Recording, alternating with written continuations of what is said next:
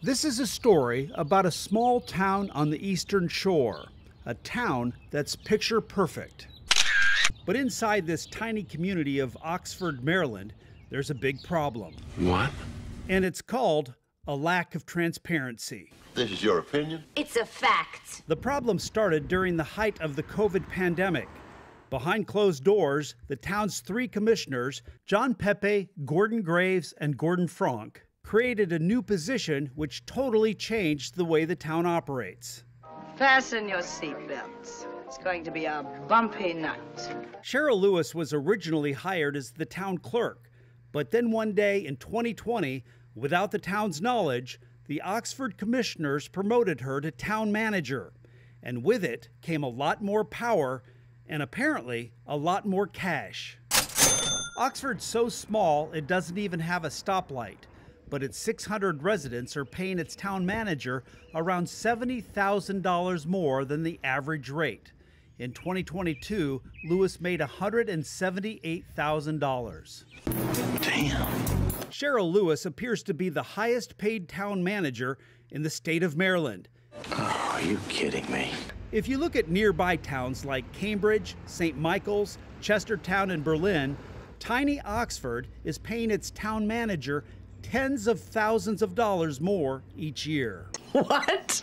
And all four of those towns have a larger population and a larger economy.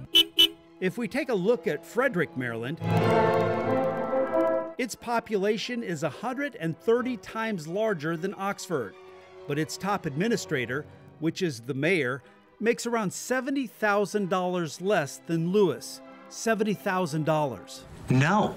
But for many residents, finding how much Lewis makes isn't easy. Just finding the budget for Oxford is like a scene out of Mission Impossible. And if you do find the budget, the town manager's salary doesn't seem to be anywhere in sight. As town manager, Lewis knows a lot about the residents of Oxford, but many know very little about her. She lives near Trappe, Maryland, on a farm with her partner, John Foster. Lewis often uses the Foster farm as her home office. Many residents say the town's transparency flew out the window the day Lewis became the town manager and started wielding more power. One of her first major acts was to create a lucrative job for her daughter. No, no, no. After that, she hired two maintenance workers who rent homes that appear to be attached to the Foster farm. So far, she hasn't addressed the possibility of this landlord arrangement. The rental properties are part of an LLC that borders Lewis's home address. What? As the new town manager, Lewis quickly asked for the resignation of the director of maintenance, Scott DeLude, and he was replaced by her boyfriend's nephew, who lives in a house paid primarily by the taxpayers of Oxford. What? Are you kidding me? After that, the chief of police, Pat Maxwell, was asked to resign. What the hell are you talking about? The residents of Oxford had zero input. Together, DeLude and Maxwell served the town for 48 years. Chief Maxwell was two years away from retirement. This peaceful community on the eastern shore went into a tailspin. And I'm here to say that Pat Maxwell has done more for this town than any one of you sitting there, that any one of you could ever think. It is a public office. There needs to be public information provided. None of that happens, and you should all be ashamed of yourselves. Calling yourselves representatives of our town, you're not representing any of us. Um, I think the commissioners and the town manager have been uh, incredibly transparent with us about how they feel about the people they represent.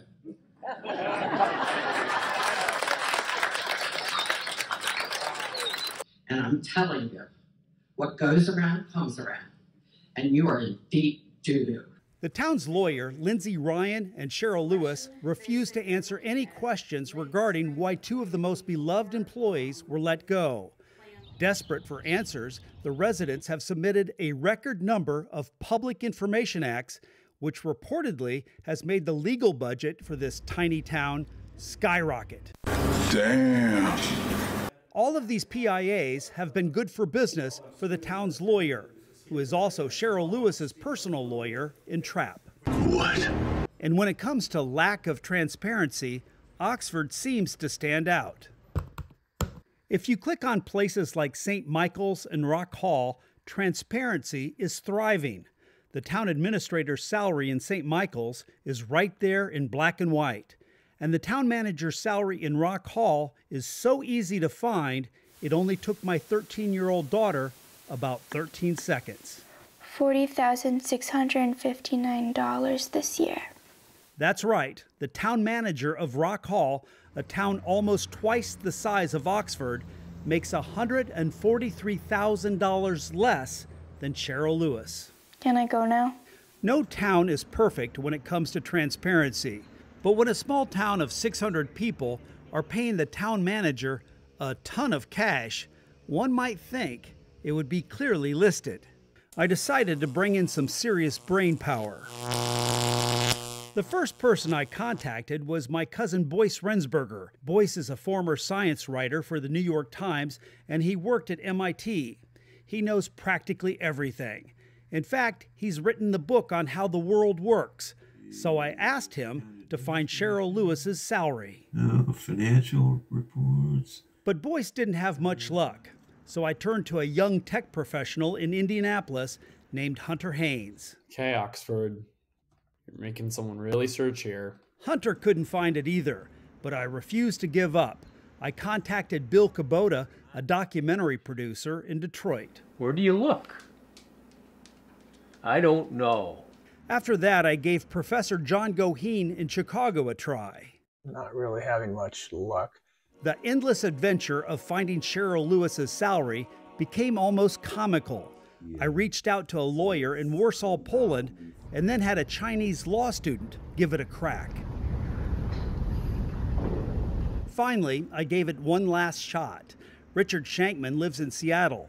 He's a Vassar grad, a presidential historian, and a New York Times best-selling author. What the hell? As it turns out, the only way anyone can find Lewis's salary is to jump through several obstacles.